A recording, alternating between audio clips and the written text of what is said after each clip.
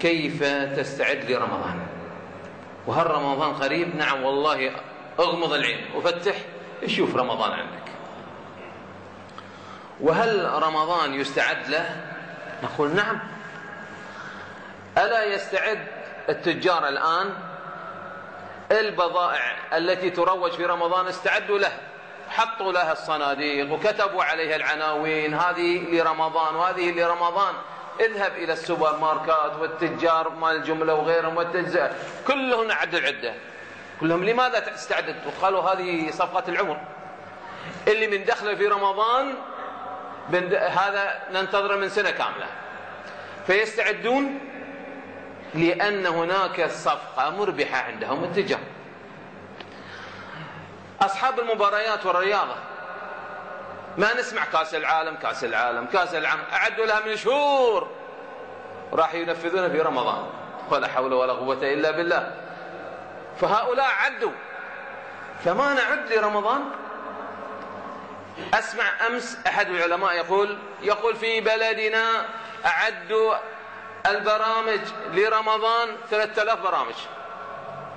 3000 برامج معدود يا أخوان لرمضان لإلهاء الناس. ولا حول ولا قوة إلا بالله.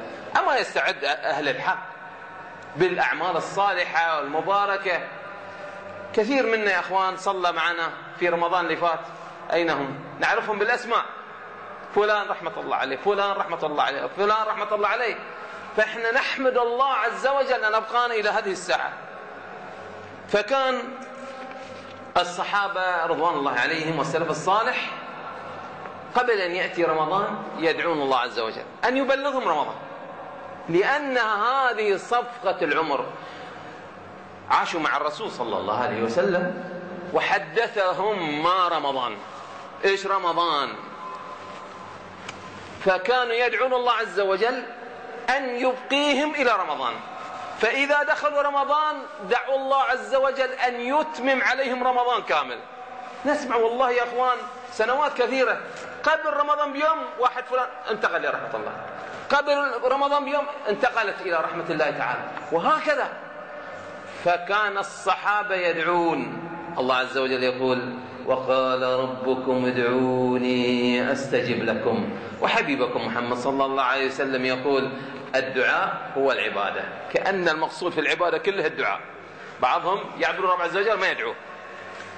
فهذا ليس من السنة.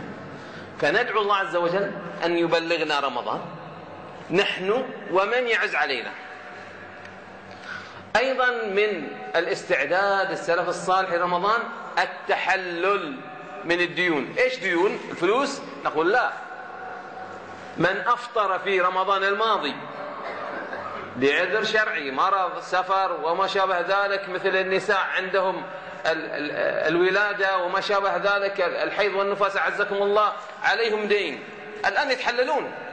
قبل أن يدخل رمضان بعضهم يا أخوان يؤخر يؤخر يؤخر حتى ما بقي عن رمضان ثلاثة أيام أربعة أيام يسأل الشيخ يا شيخ علي عشرة أيام إيش أفعل؟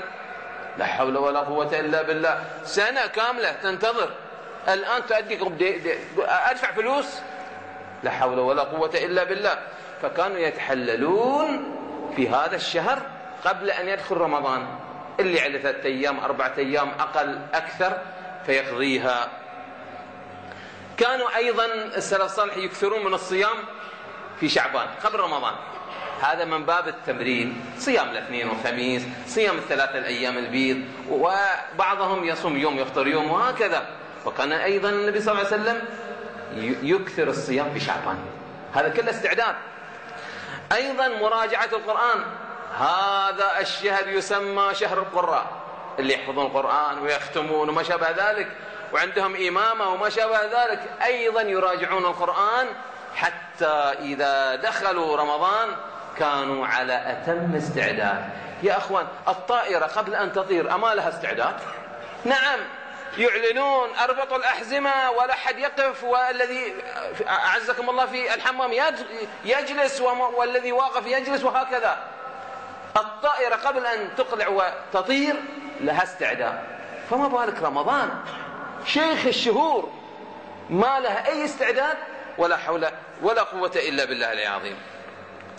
لماذا لا نستعد إلى تفطير الصائمين؟ النبي صلى الله عليه وسلم قال من فطر صائما كان له مثل أجره غير أنه لا ينقص من أجر الصائم شيء. يا أخوان واحد قل أنا بأصوم رمضان ووضعت إطعام حق 30 يوم كأن صام رمضانين. الرمضان الحقيقي الذي صامه ورمضان الأجر الذي أطعم به. بنص الحديث النبي صلى الله عليه وسلم يقول من فطر صائما كان له مثل أجر غير أنه لا ينقص من أجر الصائم شيء. أيضا تعلم القرآن وتعليمه. يقول النبي صلى الله عليه وسلم خيركم. أفضل الناس ترى. خيركم. من تعلم القرآن؟ وعلمه. أيضا أعرف ناس يعدون العدة حق كسوة العيد لليتيم وللفقير وللمسكين. أنا عندي مثلا ثلاثة أبناء. أقول عندي أربعة. إيش الرابع؟ يتيم. إيش الرابع؟ أرملة. إيش الرابع؟ مسكين. أمسح دمعته.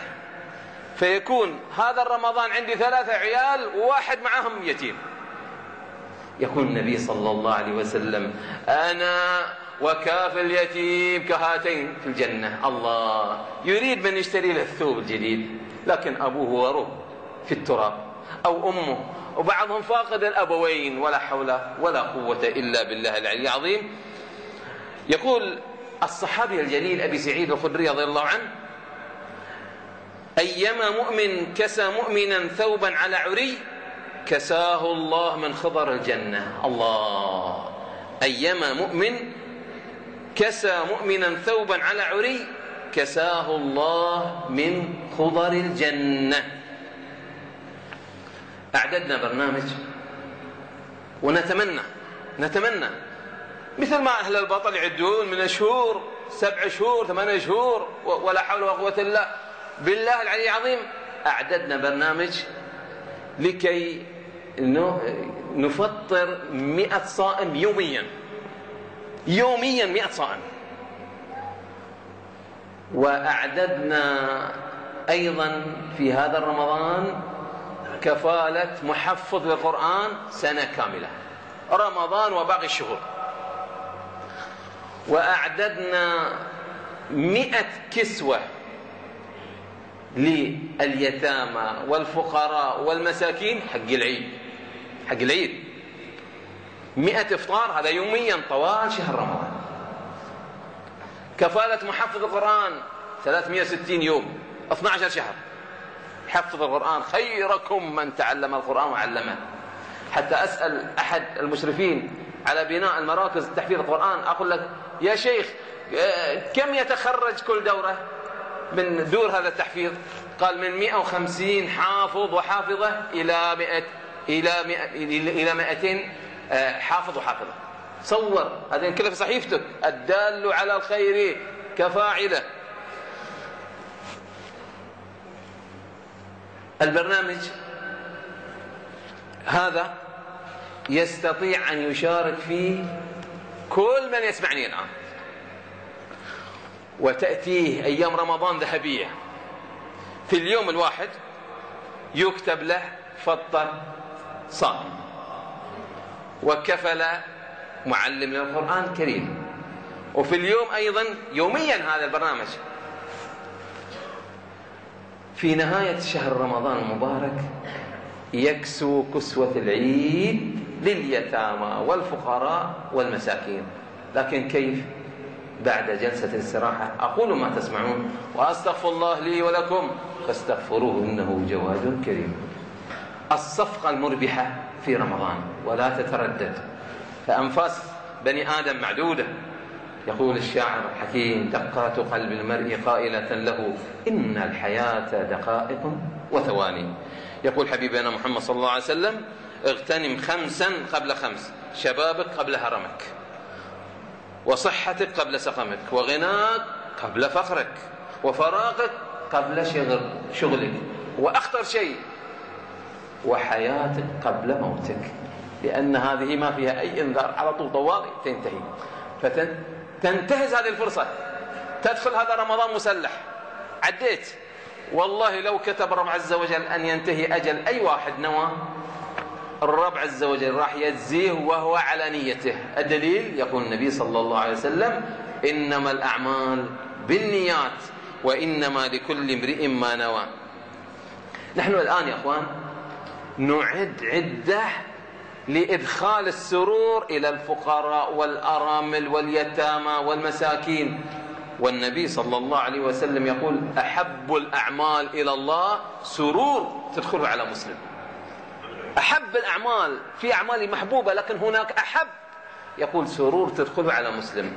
حتى النبي صلى الله عليه وسلم يذكر في حديثه قال ولئن أمشي في مع أخي المسلم في حاجة ولئن أمشي مع أخي المسلم في حاجة أحب إلي من أن أعتكف في هذا المسجد شهرا. تصور أن نقضي هذه الحاجة للفقراء والمساكين واليتامى أفضل من الاعتكاف شهر كامل في مسجد الرسول صلى الله عليه وسلم.